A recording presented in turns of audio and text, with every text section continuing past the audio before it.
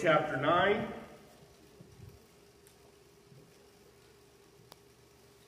And as you are turning to Romans chapter 9, I will remind those who are uh, watching, well, wherever they're watching from, but they're watching on our Facebook uh, page, uh, that this coming weekend, uh, Saturday and Sunday, we have uh, a conference here. Uh, begins on 9.30 each day. Saturday, we're going 9.30. We're having lunch. We're going to about 5, and we'll dismiss everyone to, to find some supper. Um, and then we'll meet back here 9.30 and 11, our usual times on Sunday. So we invite you to come in person uh, and be part of that. Uh, and um, uh, if you haven't met us yet, come and, and meet us uh, and, and, all of those things. Um, but for right now, Romans chapter 9. Kind of, you know, last week we, we started going through people have mercy on whom he will have mercy. And you know, it's hard to not stop in the middle of a, a thought. Uh, so we're going to have to pick up in verse 18. I'll do a very quick uh, reminder, uh, but that's all going to happen after I have a word of prayer. Uh, God, Father, once again, uh, we come before you in prayer. And Father, I don't know what we have gone through this week. Maybe it was a good week for us. Maybe it was an enjoyable week. And Father, now I just, uh, well, I pray that uh, you were remembered throughout this week, but, but Father, I just pray our focus now is on the truth of your word. And Father, maybe there were some things, we had some difficult things we had to deal with this week, but again, Father, I just pray that our minds are drawn toward your goodness. And that today we can be reminded that you know what you are doing. Uh, and Father, what you do, it is done perfectly well. And, um, well, I just pray our understanding is, is opened and expanded as we get into your word today. I pray all these things in the, the name of, well, the word, our life, our salvation, Jesus Christ. Amen. So Romans chapter 9, and I guess we will start back in verse, I don't know, let's just start in 14. Uh, it says, What shall we say then? Is there unrighteousness with God? God forbid. For he said to Moses, I will have mercy on whom I will have mercy, and I will have compassion on whom I will have compassion.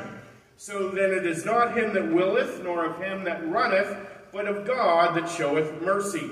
For the scripture saith unto Pharaoh, Even for this same purpose have I raised thee up, that I might show my power in thee, and that my name might be declared throughout all the earth.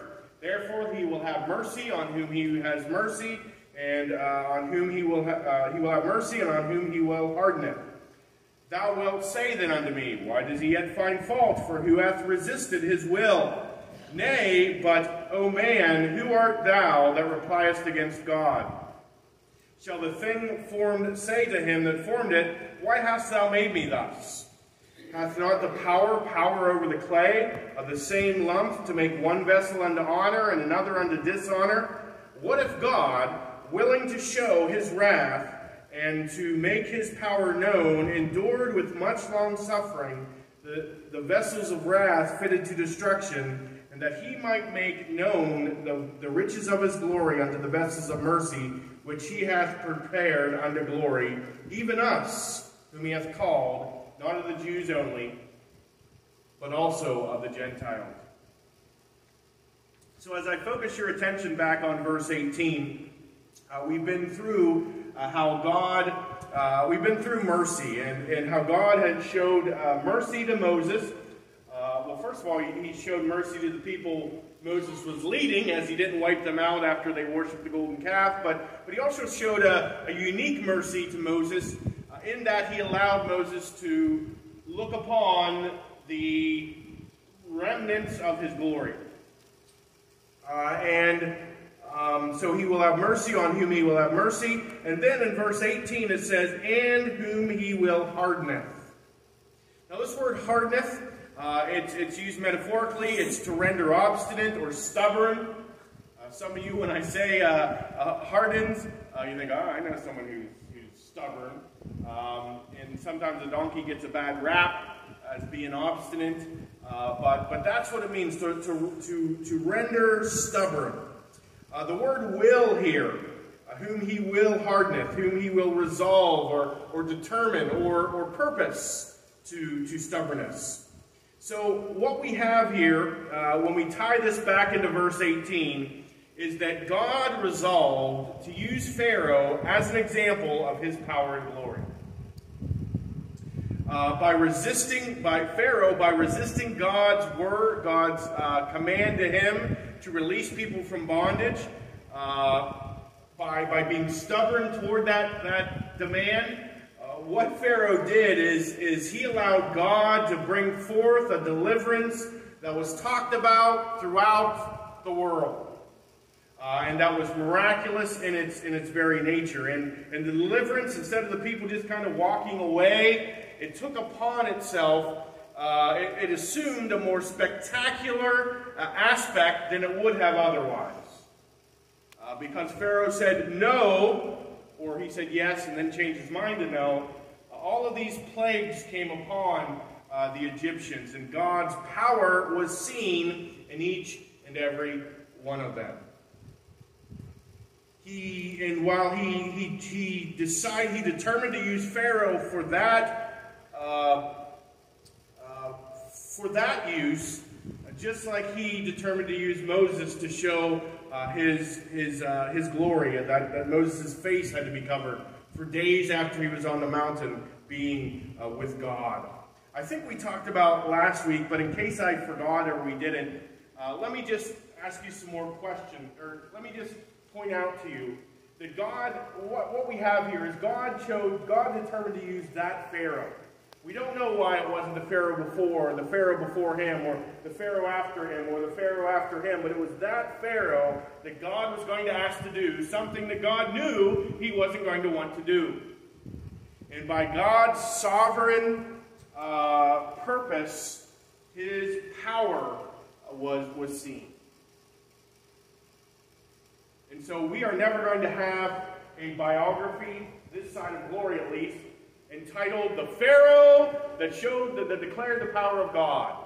We get to read that, oh, this Pharaoh, as a young boy, he liked uh, camels. I, you know, I don't know. Uh, we're not going to know all those details, but guess what? You don't need to know them. Because really, this story is not you and I's story. It's not Pharaoh's story. It's not Moses' story. It's his story. Uh, creation was created to bring glory uh, to God. Uh, when I was reading through Witherington, uh, he quotes a gentleman by the name of N.T. Wright. And he says this, and it's a good reminder. He says, Reading this part of Romans is like riding a bicycle. If you stand still for more than a moment, forgetting the onward mo movement both of the story of 9 6 through, not, through 1021 and of the letter as a whole, you are liable to lose your balance. Then he goes on to say proof texting, or taking certain verses of the section out of the flow and context and traje trajectory of the rhetorical argument has led to all sorts of bad theology. When the effect of an argument is intended to be cumulative, so in other words, Paul's argument builds. It's not meant to be piecemeal uh, or cut and dissected, and, and we'll use this somewhere else. So when the, when the intent of the argument is tend to be cumulative, uh, and there, are there is deliberately an ebb and flow, so it goes from here and naturally to here. Uh, assertions and then qualifications, so uh, that means uh, he makes a statement and then he qualifies it further. He expands upon that statement further. Uh, when all of these are involved in it, it is a major mistake to focus on one or another verse to get at Paul's theology, uh, especially of election and the like. and I like that because Romans, let me think this through real quick. Perhaps more than any other book, Romans has to be any verse you're at in Romans, the verses before and what's to come have to be taken into account. Uh, it is a it is a lo- it is a, log- uh, a logical argument that that naturally moves from one point to another. Uh, it makes a statement. It expands upon it, uh, and so be very careful. Proof that. And I, I use the example of Romans uh, three twenty three, uh, and we use that not incorrectly, but most of the time we use that to, to show that we're we're all sinners. But in the context, the main point of it is to show that it doesn't matter if you're Jew and Gentile, you're a sinner and need God's grace. Uh, so again, I, I, don't I don't mean to nitpick, uh, and I want you to understand we, we don't use that wrongly, but I always missed the context of that verse until I went and read through what kept it in its context. Because as a child, you're always used it, you're always uh, using it for this certain um, uh, reason, and uh, unfortunately, I missed the entirety of the context. So I don't mean to keep harping on that, but Romans is a book. It has to be. It's very hard for me to stand up here each week and keep everything in its context. Uh, and so uh, the point is that God has been going of this this section here is that God has been going through uh, as he as we go through what we call the times and the ages. God has sovereignly acted to extend at times mercy to people like Moses. Uh, and other times he has held people accountable like Pharaoh. Uh, and, uh, and when God has done that, it has benefited Israel in the past. Um, so he has brought these up to get to verse 24, where he says, As glad as they were to have Moses receive that and Pharaoh receive that in the past, they should be equally glad that God has sovereignly acted to extend mercy to Gentiles today. And also that he has the authority to do so.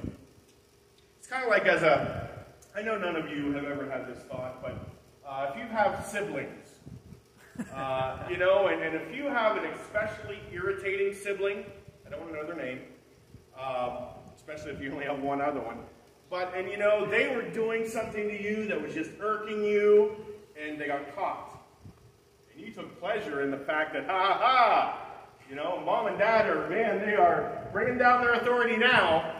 You liked it when it happened to him or her, not so much when you got caught. That's so unfair! So, uh, we need to be, we like when things happen to benefit us here, not so much when, when other people receive the benefit. Of it. And so that's what's happening here. Paul is bringing this, this into a, first of all, he's establishing God has the authority to do, to make these such choices. Uh, and he's made a choice that benefits all today.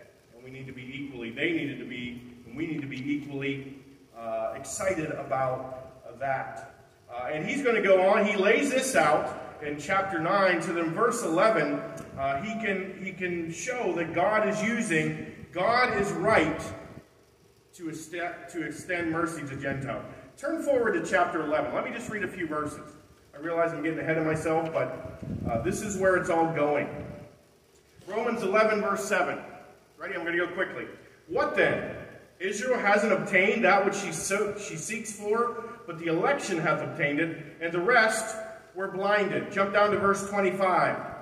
Uh, for I would not, brethren, that you should be ignorant of this mystery, lest you should be wise in your own conceits, that blindness in part has happened to Israel until the fullness of the Gentiles be come in. Jump down to verse 31 and 32.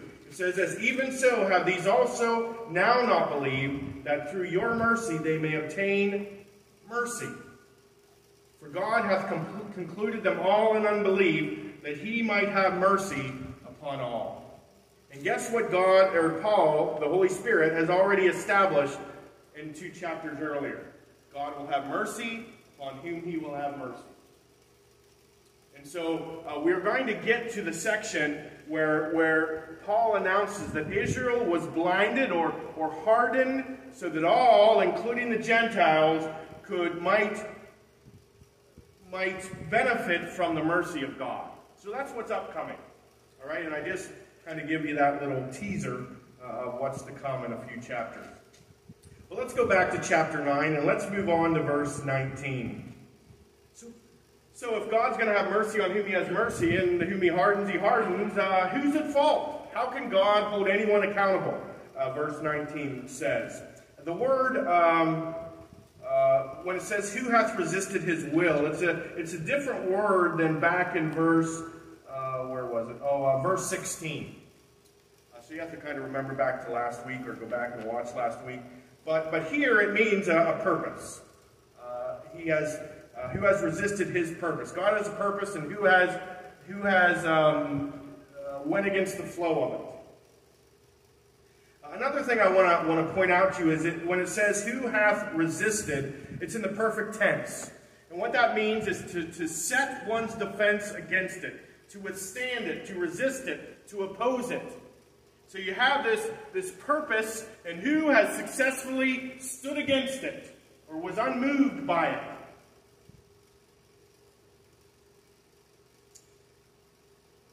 how can that person be held accountable? How can God hold us accountable? Because who withstands God's purpose? And it's very important, I believe, how Paul answers. Paul answers not with a theological explanation. He answers with a series of questions. Of questions. And, and what he does here, he never offers here or anywhere else a logical solution to the tension between divine sovereignty and human will, uh, or human responsibility.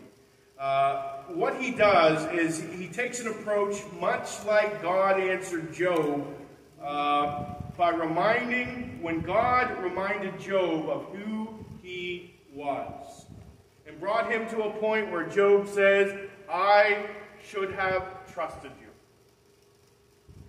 And that's what Paul is bringing these people and you and I to a point where, look, if you believe everything you know about God, that He is good, that He is right, you can trust Him. Why would we think we know better than God? That uh, God is who He is, and He does. He has divine authority over all creation.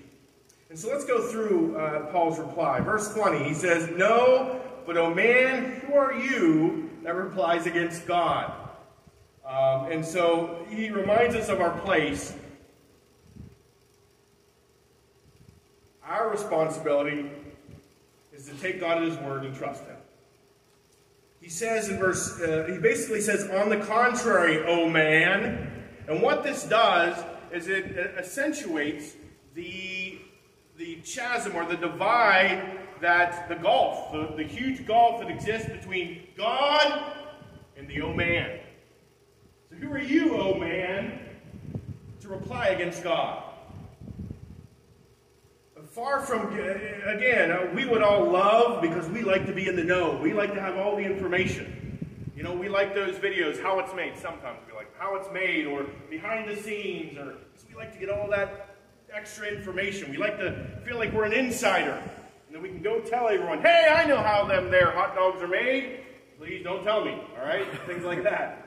Uh, we want to know. We want to get into the mind of God. But here's the thing. I don't know if we can handle it in our limited capacity. And really, I know we don't like to hear it, but right now, as long as we are tied to the flesh, we still, at some level, think selfishly how this affects us. And so, Paul, again, the Holy Spirit inspires Paul to give the perfect answer, reminding us of the place that we have in, in, um, in, uh, in, in, in, creation or, or in comparison to God.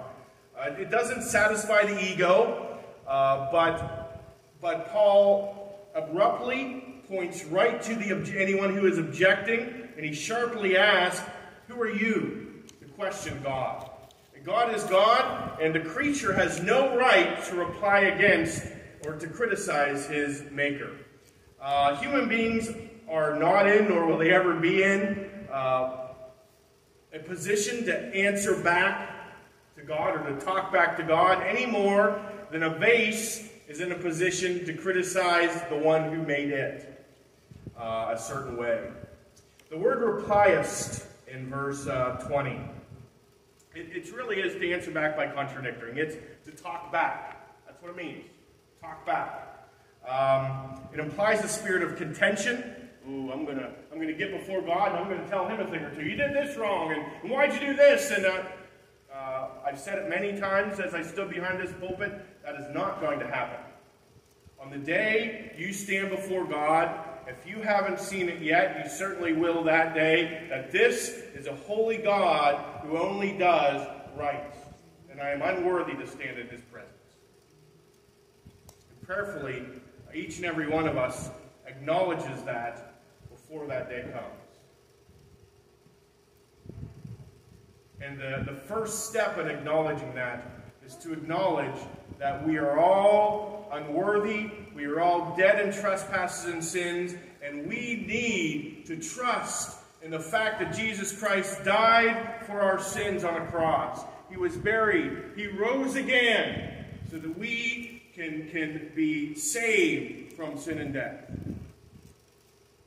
And we can be made a new creation in Jesus Christ.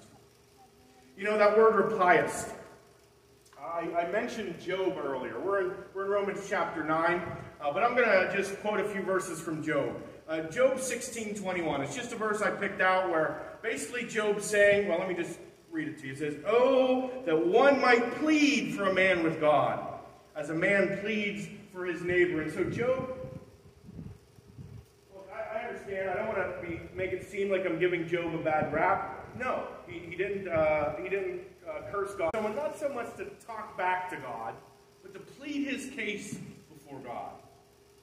And then God showed a mercy to Job. He spoke to him. And he spoke to him not by saying, Job, here's why this happened. If you would have just trusted me, you would have, I would have told you that Satan came and he, I, was, I was letting Satan use you as, as an example of faithfulness. Oh, yeah, thanks. You know, he didn't do that. What God does is he shows up and he reminds Job who he was and who Job was.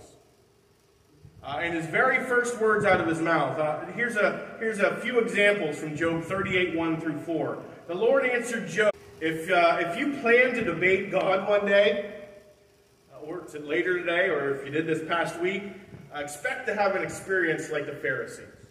They were always trying to trip him up, and I'm sure they sat around, how can we get him? Oh yeah, that's a great idea. Let's go right now and let's get him. Let's ask him that question, and he's never going to be able to answer this. And guess what? Luke 14, 6 says this. And this pretty much sums up every one of their experiences when they tried to contend against Jesus Christ. Luke 14, 6 says, And they could not answer him again to these things. Jesus gave the perfect answer that they were left saying, uh, uh Who are you to contend against God? Who are you that replies uh, against God? uh, Paul asks here. He goes on and he brings into shall the thing formed say to him that formed it, why has you made why hath you made me thus? Uh, I am so glad that our um, our pitchers and our pots and all those things, uh, they're not like they are in Beauty and the Beast. They don't talk to us. Um, I think they may have some, they have the good plates, right? You guys have the good plates the good china. Then you have, and you're just my family, you use the, the, the bad plates. But no, company's coming, so now the good plates. And you better not ruin the good plates. Uh, you know, if I were a bad plate, I'd be thinking, hey, man, I don't want to have, why do I have spaghetti on me every day of the week or food on me every day of the week? Why is this kid like spitting out his broccoli on me every day? Why can't I be one of the good plates? I get to, I get to sit in the cabinet most of the year. But guess what? those things don't get to ask, don't get to criticize you for how you use them. Uh, and so Paul brings in this, this analogy. Uh, and I'm just going to read a few verses from Isaiah. We don't have time to turn to them. Write them down, look at them later. But Isaiah 29, 16. And I want you to just see this, this potter and the clay analogy. It's not just used here. It's used elsewhere. And in each case, the main thought is that just as the clay allows the potter to form it into what it needs to be, we need to allow the Lord to use us for his honor and. Isaiah 29 16, it says this Surely your turning of things upside down shall be esteemed as the potter's clay. For shall the work say of him that madeth, He made me not? Or shall the thing framed say of him that framed it, He had no understanding? So this is a very good cross reference for here.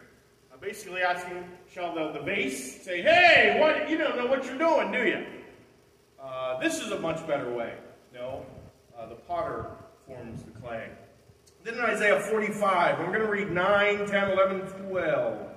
Uh, Isaiah 45, 9 says, Woe unto him that strives with his maker. Let the potsherds strive with the potsherds of the earth. Shall the clay say to him that fashioned it, Why makest me? Why makest thou? Uh, or thy work, he hath no hands. Woe unto him that saith unto the Father, Why did you beget? Why did you beget you? Or to the women, Why hast you brought forth? Thus saith the Lord, the Holy One of Israel, and his Maker, Ask me of things to come concerning my sons, and concerning the work of my hands command ye me. I have made the earth, and created man upon it. I, even my hands, have stretched out the heavens, and all their host have I commanded. Here's the, if you didn't get all that, basically here's what it's saying. Uh, now, maybe in their teenage years you've heard them say this, but I've never had a baby, uh, mainly because they can't talk, uh, but turn to his mom and say, hey man, why am I out here. Uh, you know, and, and, just have this list of complaints. Um, uh, and so here, the, the main thought is much like Paul's trying to get across is the Lord has created the earth and all that is in it, including man. Uh, he is the sovereign. We can trust him.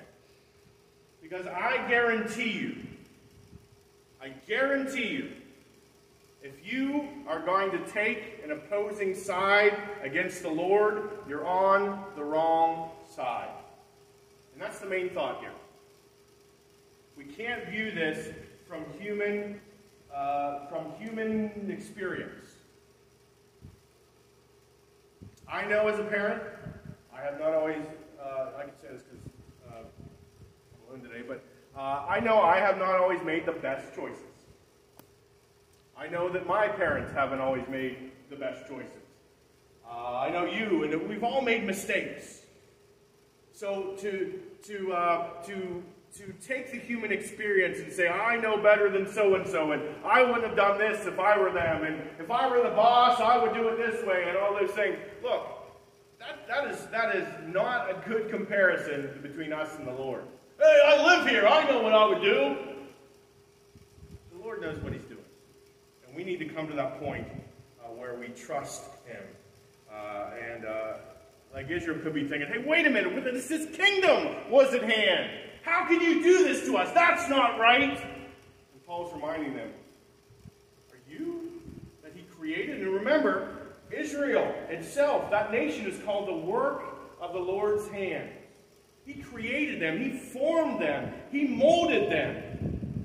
Are they going to talk back to this decision that the Creator made?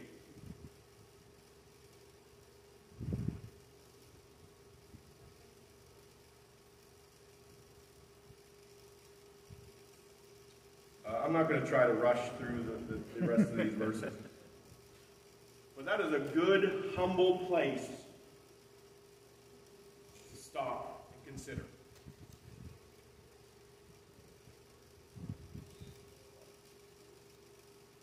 I don't know you, uh, look, I know I kind of get what you went through last year and, and still this year. And that was a mess. Still is a mess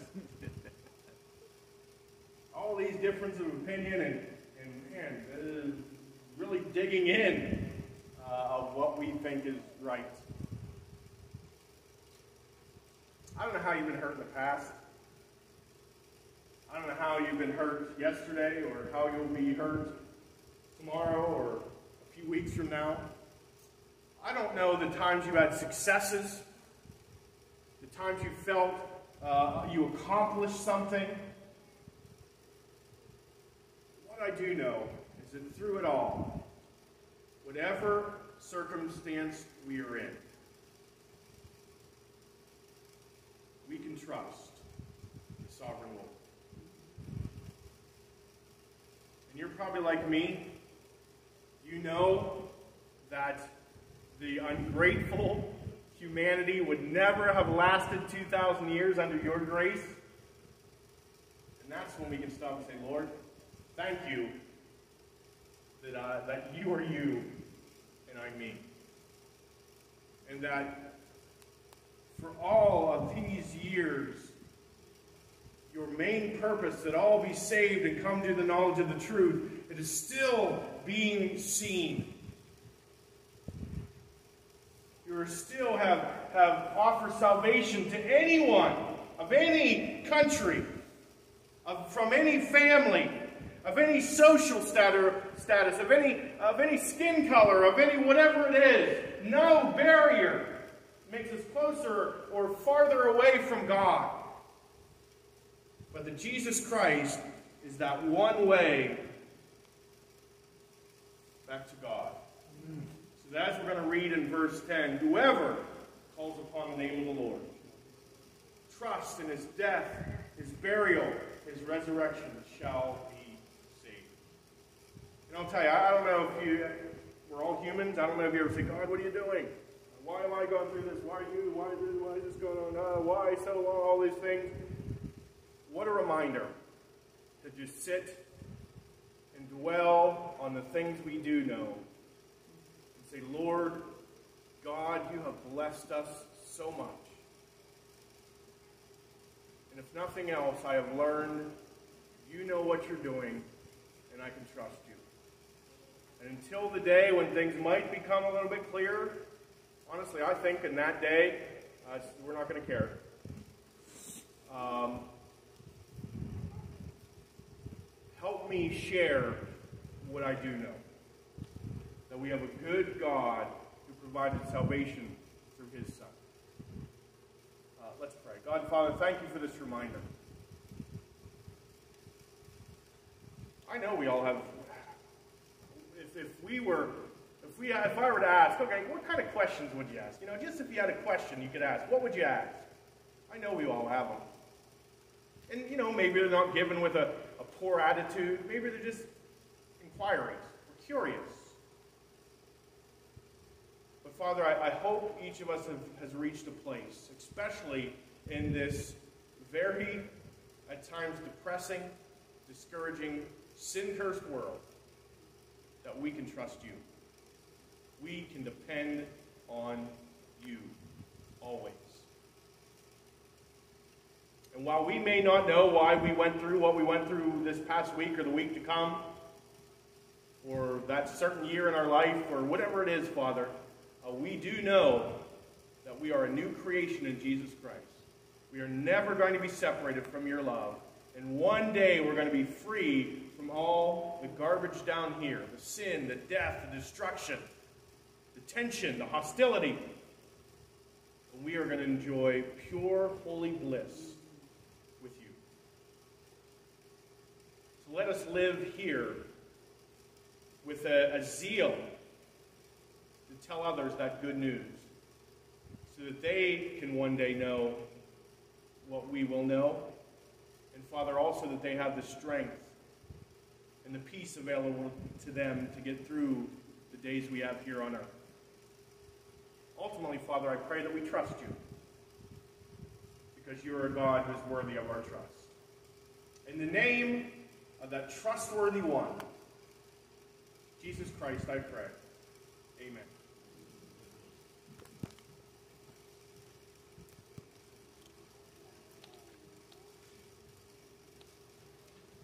Hey, Matt, how do I stop this? I tapped it and it turned around on me. Oh, so now you're being recorded. Yes. All right.